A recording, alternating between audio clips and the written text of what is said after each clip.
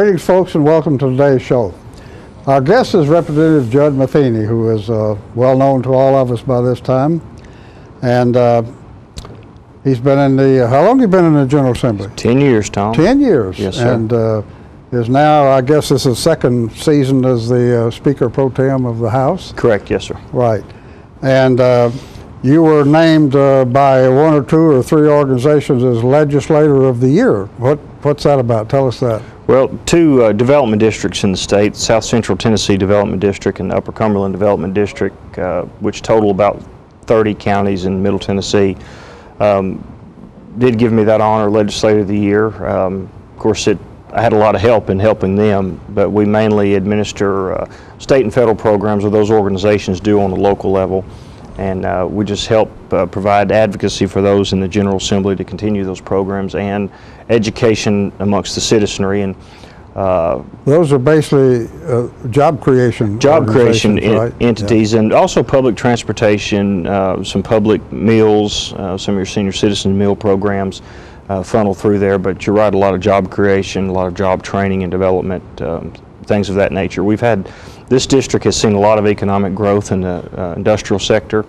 Uh, Middle Tennessee's actually done well. Our employment unemployment rate overall in Tennessee is below the national average, and a lot of good things going on. And then uh, the Tennessee Wildlife Resources Foundation also gave me a, a unique honor, and it was uh, once again I had a lot of help in that also. But there wasn't a, a hostile attempt to to redo the inner workings of the Tennessee Wildlife Resources Agency, and um, I was uh, asked by some uh, great conservationists and hunters to intervene and to stop this uh, takeover and to put a, a more uh, predictable path in place in our hunting and fishing seasons again. Uh, to correct some of the problems that were uh, seen by some hunters and fishermen, and I think we did that with some hearings, increased the communication between the legislature and the agency. And I learned a lot. I'm a much better legislator from working with the Wildlife Foundation and the Resources Agency, and I'm a great fan of. I mean, here in in Coffee County, we have deer everywhere. We have uh, a lot of turkey. I mean, obviously they they've We done have a too one- many deer. they've done it. We have 22 deer per square mile. Uh, is the population count in Coffee County, but uh, lear- learned a lot. Had a very productive year, and um, met a lot of people across the state that uh, will will be valuable in relationships as we move forward. Yeah. Sure. Okay, very good. Well, with that, folks, let's take a short commercial break and we'll come right back.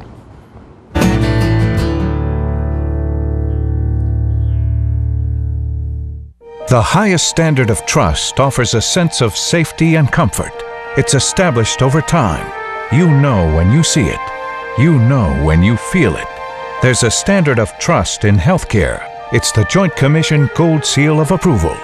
In 2003, Life Care Center of Tullahoma voluntarily achieved this accreditation and maintains it still today. Life Care, meeting a higher standard because residents matter most. This is J.D. Oliver here at the Smokehouse on Monteagle Mountain. My sisters Betsy, Nancy, and I'd like to thank you for supporting our family business for over 50 years. Hello, this is Stella Parton, and I am standing here right in the middle of Jim Oliver's Smokehouse Restaurant. But you need to come in here. We just got through doing a show. We also have a music scene going on here, and I want to invite you to come down because it is your mountain destination. Music on the Mountain in Monteagle, Tennessee. My name's Betsy Oliver. I'm the kitchen manager here.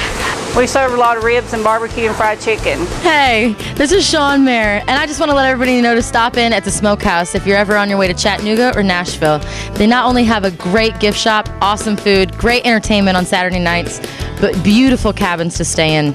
Check it out. Make the Smokehouse your mountain getaway destination. Stay in one of our 84 lodge rooms and 20 timber frame log cabins. Look around our trading posts and eat in our delicious restaurant. Enjoy music on the mountain every Saturday night featuring the best of Nashville. Our family hopes to see you this year at Jim Oliver Smokehouse.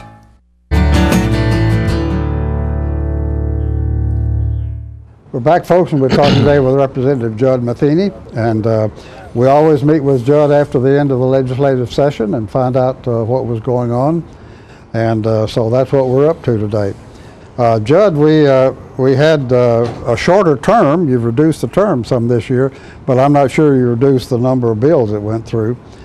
And uh, in the process, you got lots of uh, publicity, most of it adverse, with respect to the, the quantity and the subjects of the social issues that you brought up. Guns, abortions, sex ed, evolution, how to teach science, uh, and the, the Vandy thing. And uh, as I say, it got a lot of bad publicity. How, how do you want to Well, I'll just, comment in a nutshell, I'll state that the, uh, the Tennessee General Assembly, as it sits right now, is a, is a relatively conservative body.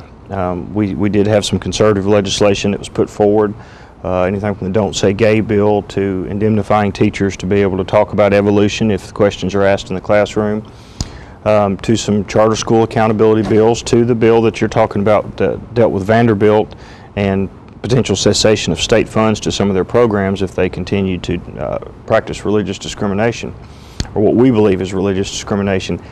But it's important to know that those things that we are fighting for, they are a, small percentage of what it is the Tennessee General Assembly actually does. In addition to approving the budget, which is a balanced budget according to our Constitution, um, passed a budget this year that's actually a billion dollars less than less than last year's budget, and we were still able to put tax decreases uh, on the board, both in, uh, albeit small, uh, we are reducing the sales tax on food, albeit small, we have increased the exemption on the hall income tax um, that uh, an individual filer can claim on interest and dividend income. We have uh, done away with the gift tax in Tennessee uh, effective January 1 of 2013. Um, basically, a, a business owner can uh, gift or pass on their wealth and business while they're still alive to an heir or an inheritance while they're still alive um, without the tax liability. Um, and also the inheritance tax, uh, also known as the death tax, is being phased out in Tennessee. Uh, we increased it over four years? over a think. four-year period, yes, sir. And uh, we will not only, of course, surpass the federal exemption of five million, but we will get rid of it altogether. Um, the idea being that enabling Tennessee to park more wealth here is going to create more wealth in the uh, out here in our economy and going to create more jobs. Um, the state is foregoing revenue now on all these tax decreases, um, but in the future we are going to see more money coming into the coffers. You're, you're casting these as uh, being attractive for getting businesses to come in. Absolutely, out of state. yes, sir. Okay. Um, Well, let's, uh, uh, some of the others, uh, what, what was the, uh, what's the driver behind the sex ed uh, issue? Well, that's just, uh, I want to say that bills like that come up every year in the Tennessee General Assembly. And Well, let's talk about what it was. For, as I recall, it, it was just uh, uh, sort of forbidding uh, sex education in the lower grades, one through six or seven. Well, and, and it was giving, it was putting some reasonable parameters in place. Um, we think that education is best left at home at that age. Um, we did see some evidence of some very, very graphic examples that were being given to students, um, both illustrations and alternatives to, to normal sex. Uh, we didn't agree with those that were being taught, and we just wanted to say it, this is a subject that's best left at home for this age group right now. Um, the government can obviously not do something that is, is palatable to all parties involved. Well, of course, a lot of the social issues, uh, you know, you, you run into the old philosophical point that you can't legislate morality. That's right. Uh, and so if you have to, the extent you have to get into that seems to me reflecting a, a breakdown in the role of the family, excuse me, So schools many things. churches. So many things are, are tied to that, Tom. I mean, they really are. Whether some of the problems we're seeing in the classroom, the behavioral problems, the inability of teachers to, to truly be able to teach to their fullest extent and, and reach every ch- child equally in the classroom, many of these things we're, we're seeing deteriorating social fabric are, are, uh, are the, uh, the main cause of this. And uh, we're in a difficult situation. Parents need to step up and continue to do more. Um, we can't. Uh, one thing I've learned in the last couple of years in dealing with entire education reforms is is how much really that our citizenry expects teachers to do above and beyond just teaching the child. And, Well, uh, it's, uh, you know, we're, we're in a bit of a quandary there. Uh, the, with the extent of the breakup in the families that we have uh, going on, you leave a gap there, you know, and the question is, does that gap stay or do you try to address it? And about the only place you have to address it is in the school. system. So I don't know, I don't know how you resolve Well, that it's, one. it's, I've, I've come to the, the uh, agreement with myself that there's not necessarily always going to be a right or wrong answer. There may be a best option at times. And we have to, we have to look at every angle and make, make the best choice. Yeah, okay. Well, all right. Let's, uh, let's, let's shift over, um, unless there's some other comment you want to make about those, we can shift over to the non-social issues. if Yeah, you want I'm, uh, I think this, this General Assembly, um, everyone, if you go back, are um, spiked with social issues, whether they be abortion bills, whether they be uh, homosexual bills, firearm bills, or what people would consider social in many cases, is some of our gun right bills. But this General Assembly, by and large, was a business-oriented, jobs-friendly, jobs-creating um, General Assembly that laid a, uh, a glide path for Tennessee to be able to create more wealth for its citizens, retain more wealth, um, its citizens that have accumulated it here in Tennessee. I think that's the focus of the general, this General Assembly, and I think that's what its legacy will be. Um, you know, the, the media loves to get a hold of those headline grabbing things because it's just not real sexy all the time to read about inheritance tax scale backs and, and foregone revenue from gift taxes. But it is pretty exciting to read about, uh, you know, children fighting in the classroom or, or teachers fighting in the classroom with parents over sexual education. Uh, but that is a very small minority, very small of the things that happen in the state of Tennessee. Okay. Well, let's talk about uh, some of the um, some of the things that got passed. What are your what are your favorite subjects there? What are you proud of? Well, one that I'm very proud of, I worked, uh, I actually was a bill sponsor in the House, was a prescription drug database bill. That uh, prescription drug abuse in Tennessee, we are one of the nation's leading states in prescription drug abuse, and that comes from a, a subculture of lax um, prescribing in some circles in Tennessee. Um, some of it due to uh, TennCare explosions and more medicines being able to hit more people over the past years. Um, this is also a national trend that is exploding. Um, a lot of pharmaceutical companies have been pushing more and more and more and more drugs into the populace, and Tennessee decided to get in there and fix this to the best of our ability. So we've created a uh, since 96 or si- excuse me since 2006 we've had a voluntary drug database where physicians and pharmacists could choose if they wanted to to see who was prescribing what drug to who and who was filling it, um, so that they could not overprescribe. Um, it is now compulsory that a doctor's office must check the database before prescribing controlled substances. These are not every prescription. This is mainly your uh, street level type drugs are Schedule 2, 3, and 4 that have a high tendency for abuse, and they don't have, um, they may have a very narrow medical focus to them. And we want to make sure that the drug is not being used outside the confines of that medical focus. That's an interesting issue, you know, because it's it's cropped up more or less recently. You know, we've been concerned for years and years and years about illegal drugs, Yep. but now all of a sudden, the legal drugs, the prescription drugs, have become a, a major problem. It has, and we uh, we have a lot of Tennesseans that are dying, and um, well over a thousand a year from drug overdoses. We have another 80 plus thousand that are visiting emergency rooms every year.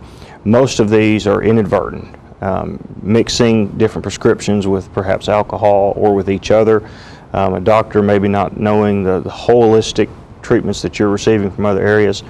Um, some people just are choosing to take the path of least resistance to heal themselves or to get over a, an issue, and that is to take a pill. Um, this law will curtail that substantially. Um, over the next 18 months, we will get it down to 48 hours um, worth of time lapse from the time that you actually fill a drug to the time that it shows up in the system, um, that a doctor can tell. And hopefully, we want to do it even faster than that. But right now, a doctor would, if I was going to prescribe, if I was a physician, I was going to prescribe you hydrocodone, I would check the system. If you'd been prescribed that um, and you, were, you still had a prescription that was valid and you should still have some pills, I can't prescribe that again. Uh, I have to wait to a certain amount of time. Now, I am still given discretion as a physician to do short course medications and be exempt from this. Um, ER doctors, um, some surgery centers for some things can still do what they do. It's just normally it's the, the long-term chronic treatment of pain with prescription medications. We want to be able to put some bulwark in there against that. Also, this bill allows law enforcement uh, on a need-to-know basis to research. I was going to say, uh, you know, when you got that kind of an issue, the concern right. always is who gets, who has access to this data? It's tight, And and you have to have a reason to look at it, and, uh, and that reason has to be divulged in court. So the patient, uh, the doctor, the pharmacist, and law enforcement. Law enforcement. and regulatory boards, medical regulatory boards, if they Hmm. have to do some type of disciplinary action against someone that's overprescribing.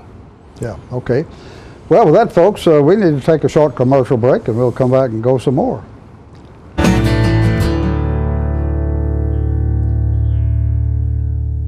Hi, Grandma. It's Jake. I'm I'm calling to tell you you I love you more than anything in the whole wide world, even ice cream. I love you more than spaghetti and meatballs. I love you more than snakes and monkeys and sharks and whales and praying mantises. Uh, bye, Grandma. Love you. Let it all in with Charter Phone, including unlimited local and long distance calls.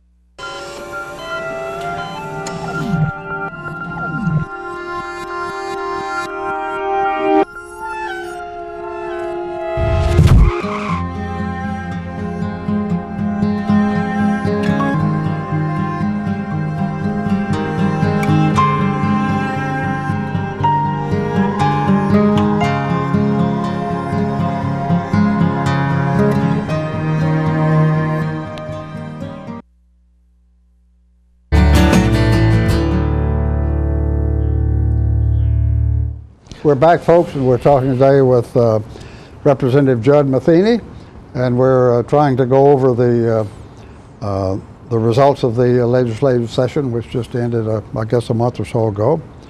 And uh, let's talk some more about substantive issues. What, what's your Well, we revamped some civil service requirements in Tennessee, and we also revamped a lot of the boards and commissions that we have. The governor, two years ago when he first took office, he ordered a top-to-bottom review of all state departments and agencies. Um, basically, his instructions were to make sure that they're still performing the mission that they're supposed to perform. If you had, if you were given marching orders today and had to build a department to execute those marching orders, would the department look like it looks today, or would you rebuild it? If you had to rebuild it, how would you do that? And as these reports began to come in, the governor began to take action by consolidating boards, um, eliminating some boards, uh, making sure that it was not political appointments that made up those boards, um, even though they are political appointees, but we want to make sure that people are experts in that subject matter, that there are not redundancies between various boards and commissions, that environmental boards are talking to each other, transportation boards are talking to each other, and that there is seamless integration between them as they speak. Um, for instance, we have a road project in Manchester we're working on. Three different times it's been approved, and three different times different state agencies have come in and said, nope, stop. Another eight month delay for us to look at this. Okay, you're clear, let's move forward. Nope, stop again. What we're trying to do is get everybody on the same sheet, raise all their objections at one time so everything can be rectified at one time. So that means they all have to review it. Yes, sir. The first time around. and Yeah. move a little bit quicker at the speed of business. The governor has put uh, uh, an individual in place that is actually warehousing all the information on various projects and making sure that these individual institutions are coordinating with each other Talking to on the each other. project, whether it's transportation, talking to economic community development, that's talking to the environment. We just want to make sure that that's moving together well. Also, the top to bottom review that we have of our existing industries has been going very well. And Coffee County has been a great recipient of existing industries growing. Um, Viam Manufacturing has grown considerably. Batesville Casket has grown considerably. Uh, MTech is growing by leaps and bounds. Everybody associated with the automobile industry is exploding Yeah. in our area. Our unemployment rate, uh, I also represent a good bit of Warren County, and it still is above the national average. Uh, Coffee County, though, has dipped below the national average, and we're continuing to improve. And um, And statewide, we're a little, I don't remember the number. we're, little we're about we're about two tenths of a percent below the national average now, Mm, okay. and swinging down. Um, high of about 10 percent two years ago. We're down about 7.8 now, and the national rate's right at about eight. And um, so that was a, what we're doing there is transforming what the expectations of government from businesses and from businesses to government and trying to streamline that. And I'm very proud of those things. The Tennessee Regulatory Authority, um, the jury's still out on whether or not we need to make the changes that we did with that. Um, it was something the governor was very ardent in, but we're one of the few states now that has gone to a part-time commission for the Tennessee Regulatory Authority that uh, regulates a lot of our public utilities and had, had a big uh, say-so in the telecommunications industry some years ago. And folks may remember this is the old Public Service Commission from the 90s um, that was turned into the Tennessee Regulatory Authority. We've seen some reports that uh, we could have some negative outlooks on some of our bond pro bonding projects with regards to utility infrastructure in Tennessee because we're going part-time and uh, we want to watch that very closely and make sure that it's not going to adversely affect us um, more than the savings that we're um, giving to the taxpayer indirectly through rate savings that uh, utilities are paying to the TRA. Um, but, but that revamp is substantial. Um, we're one of the few states doing it, and, uh, and it's the, I think the governor is hoping that we are following his lead on this and his business expertise, and, and we're trying to do the best we can. Um, the uh, civil service uh, revamp that we did um, was a tough road. We uh, had a lot of negotiations with State Employees Association and have to say they were absolutely stellar in their negotiations. Um, many times you see people take their toys and go home if they don't get what they want or they can't get an audience. They were very professional um, right up to the time that a compromise was finally struck. Um, what the governor intended to do and what I think the new legislation will have a, an overall impact on doing is just making sure that the best people in state government are promoted to the best positions. That just because you've been there longer than anybody else, you get a chance to go there is not necessarily going to be what makes it or not. Yeah. More discretion is given to the senior level management to put the best person in place for the job. When we look at what's happened in Wisconsin, uh, you got you got that that program through, uh, and I guess he gets a big chunk of the credit for that, the governor, with a minimum amount of controversy. You know. Well, he, he was he was excellent at listening. Um, I can promise you there were more than three dozen major meetings associated with this piece of legislation, and the ball moved many times um, back and forth towards each end zone. It was not a, a all or nothing mentality by either party. he must be a pretty good negotiator. He was, and he has a good team negotiating with him. He's he's got a, a, a good team of uh, legislative liaisons. Some of them are are former representatives. Some of them are former uh, private sector folks. Some of them are total neophytes and and and learning things the hard way, like we all do in politics. But they're doing a great job. They Okay. really are. Uh, let's talk about education a minute. Uh, of considerable interest was the uh, the bill that you passed limiting uh, immigrant teachers in the charter school system to three and a half percent. What's Three percent. Yeah. Three? Three percent of the total. Yes, sir. What what this does is What's that behind that? Yeah. as as charter schools explode now most of us are in favor of charter schools and the basic concept of a charter school is to be able to take in private money and basically put a private board of directors together and have a private school that has a mission focus uh, it could be music it could be arts it could be sports uh, it could be any number of things mathematics um, also still providing well-rounded education it has come to our attention that there are some foreign institutions that are abusing the H-1B and J-1 visa programs, which are your immigrant uh, employment visa programs in the country. They are not, no, those programs are reserved to bring in foreign labor, foreign talent when it cannot be found domestically. Um, we don't believe in Tennessee that there's no available math or science teachers, that there's no available music teachers, and in some cases, janitors and assistant principals in charter schools. But we've seen foreign entities recruiting these individuals, um, bringing them over six months at a time, renewing their visas, keeping them for another six months, and then letting them go back to their to their home country. We want the first option given to Tennessee teachers to be able to teach in Tennessee schools, and that's the bottom line. And um, the cap that we've put in place is is basically a general rule. It's not hard and fast. It's what we call a permissive cap. It says that three percent of the school staff, to include janitorial staff, cafeteria staff, etc., cannot utilize these H-1B visa programs, and that when you apply for your charter school, you have to lay out how you're going to recruit your teachers, where they're going to come from, how you're going to fund them, where the funding's coming from, and what your curriculum is going to be. And that information, which is basically the same information that a public school posts on its sites or links to it, we want to make sure that every parent And every student has the right to make an informed decision about where they're going to go to school, who's going to be teaching, what the curriculum is, where the money's coming from. And it's just to, once again, make sure that the charter school system doesn't run away with the freedoms and liberties that we've granted ourselves over the years. And uh, we teach American values and we, we stick with a curriculum that is geared towards the United States Constitution and that is not secluded from those types of things, not only the, the eyes of other American citizens, but also the regulatory boards.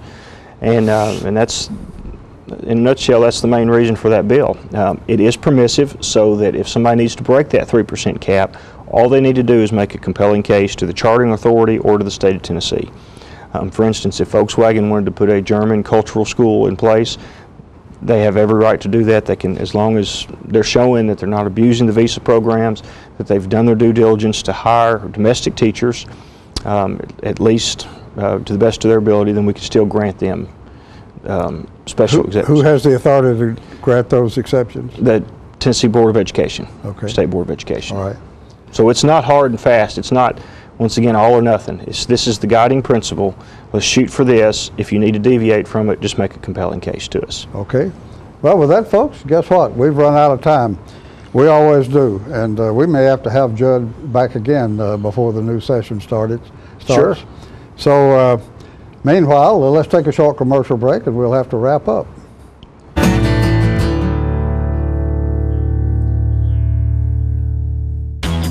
I'm NASCAR driver Mark Martin. You know what's worse than waiting in traffic? Waiting in the emergency room when you're in pain. So choose the ER that's extra fast, ER Extra. ER Extra is specifically engineered to get you the help you need and back in action with race car speed. ER Extra. Extra fast, extra easy, extra great. ER Extra, exclusively at Harton Regional Medical Center. You'll never guess what happened today. What? You want to see? They found a giant squid in New Zealand, bigger than this whole bedroom. Bigger than mommy's minivan. Bigger than mommy's minivan. 900 pounds. Isn't that amazing? And its eyeball, big as a basketball. Let it all in with Charter Internet and get the fastest, most reliable internet speeds.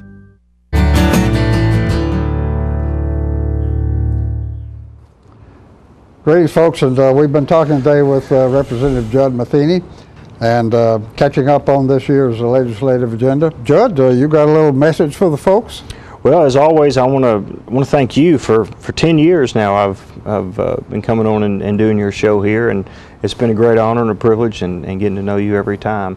And uh, I appreciate the individuals letting me to letting me serve. I hope your investments paying off. Please continue to communicate with your elected representatives, whether you're in Franklin County, the Tullahoma City portion of Franklin County. David Alexander is a wonderful guy. Uh, contact him down there. Uh, me for anywhere in Coffee County. Um, senator Stewart is still our senator until November. Um, get out there and pay attention to what's happening in your state senate primary race. Um, it is important who represents you. Uh, don't forget about your website, tennessee.gov. Everything that we discussed today uh, can be backed up factually, uh, links to what we discussed, as well as the live hearings about the subjects we discussed. And with that, folks, uh, Judd, thank you for coming on, and uh, thank you, folks, for inviting us into your parlor, and we'll see you you. next time. Thank you.